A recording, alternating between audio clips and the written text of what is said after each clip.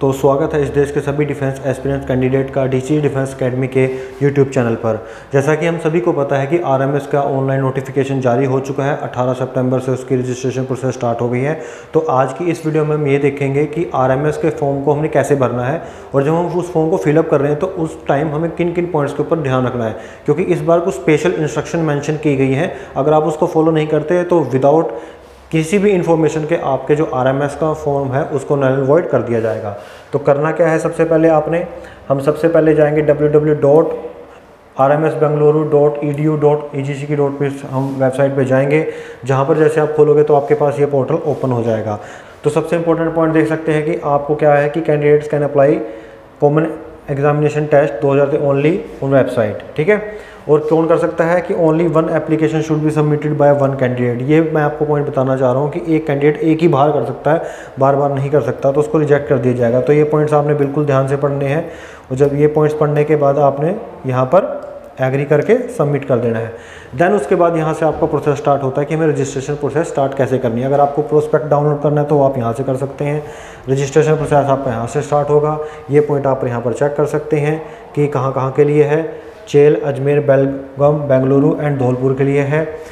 क्या क्या आपके पास पॉइंट है? क्या क्या आपने चीज़ें ध्यान में रखनी है? ये चीज़ें आपको बिल्कुल पढ़नी है। आप देख सकते हैं कि 18 सितंबर से 18 अक्टूबर आपकी लास्ट डेट है प्रोसेस की। तो अगर हमको रजिस्ट्रेशन करना है तो कैसे करना है? हमें रजिस्ट्रेशन प्रोसेस पे जाना है। जैसे आप क्लिक करेंगे, आपके पास अगेन ये पोर्टल ओपन हो जाएगा, जिसमें आपके पास चीज़ें मेंशन है कि कक्षा छः के लिए केवल लड़कियाँ, छात्रा केवल सिर्फ़ छः के लिए आवेदन कर सकती है, यानी फीमेल कैंडिडेट सिर्फ़ कक्षा छः के लिए आवेदन कर सकती है। उसके बाद अगर आपको इंपॉर्टेंट इंस्ट्रक्शन यहाँ भी दे रखी है, यहाँ से भी आप पढ़ सकते हैं कि आपको क्या क्या डॉक्यूमेंट की रिक्वायरमेंट रहेगी।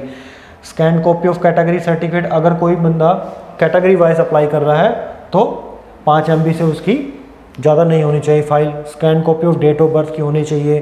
स्कैन कॉपी ऑफ़ फोटोग्राफ, जो भी आप उसमें फोटोग्राफ और सिग्नेचर अपलोड करेंगे, उसकी आपके पास किस फॉर्मेट के अंदर होनी चाहिए? जेपीजी जेपीजी पीएनजी इन फॉर्मेट के अंदर होनी चाहिए।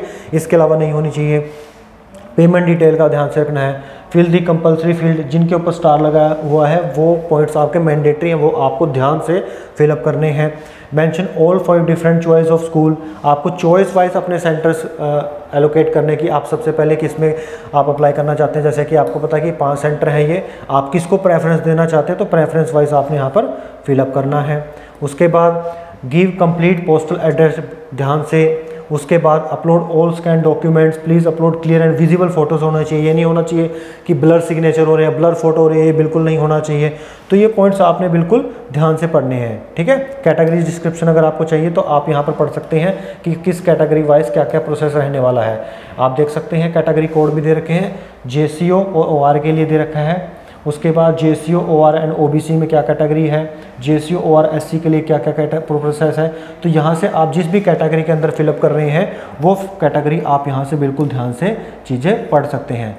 जब आपकी ये सब बिल्कुल क्लियर हो जाएगा देन उसके बाद आपने अपनी प्रोसेस को स्टार्ट करना है। सबसे पहले आपने क्या करना है? अपनी क्लास को सिलेक्ट करना है। जिस भी क्लास में आप फिलअप करना चाहते हैं लेट से कि आप क्लास सिक्स में फिलअप करना चाहते हैं तो क्लास सिक्स में आप फिलअप कर सकते हैं। या अगर आप क्लास नाइन में जाना चाहते हैं तो क्लास नाइन में फिलअप कर सकते हैं।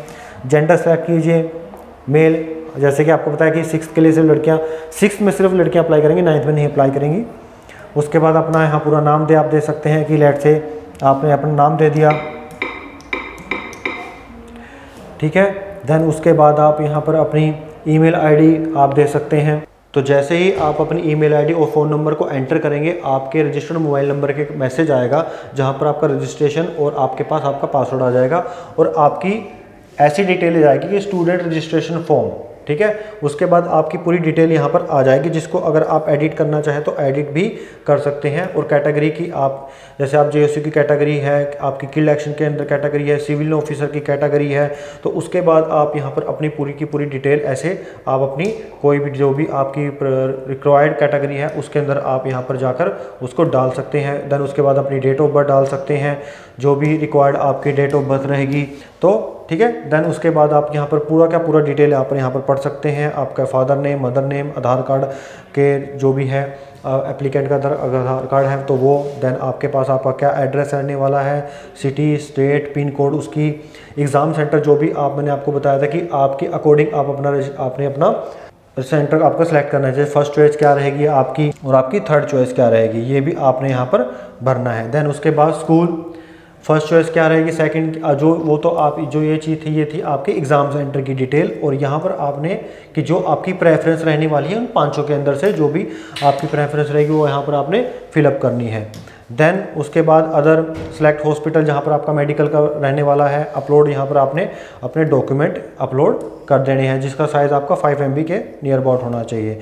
देन उसके बाद जब जो आप सब कुछ फिलअप कर दोगे देन उसके बाद आपको यहाँ पर सबमिट कर देना है और उसके बाद जो आपकी रहेगी, आपकी पेमेंट का ऑप्शन आपके पास आ जाएगा। देन आप अपनी पेमेंट को भी फिलअप करके वो चीज़ें आप यहाँ पर कर सकते हैं। तो ये चीज़ें आपने बिल्कुल ध्यान में रखनी है कि जब भी आप अपने ऑनलाइन फॉर्म को फिलअप करते हैं तो जो मेन इंपॉर्टेंट चीज़ें हैं आपकी कि आपका रजिस्टर्ड मोबाइल नंबर और आपकी ईमेल आईडी प्रॉपर होनी चाहिए क्योंकि जो भी फर्दर कम्युनिकेशन होगा जो भी अपडेट होंगी वो आपकी उसी ईमेल आईडी और फ़ोन नंबर पे होगी। सो आई होप जो आज की इंपॉर्टेंट इन्फॉर्मेशन मैंने आपको दी है कि आरएमएस के फॉर्म को फिलअप करते हुए आपने किन पॉइंट्स का ध्यान रखना है ये आपको हेल्प आउट ज़रूर करेंगी। सो so, इसी टाइप की लेटेस्ट और इंपॉर्टेंट इन्फॉर्मेशन के लिए आप हमारे channel D C defence academy को सब्सक्राइब करें। नेक्स्ट वीडियो में फिर मिलेंगे दोबारा किसी इंपॉर्टेंट अपडेट्स के साथ। टिल देन थैंक यू जय हिंद जय भारत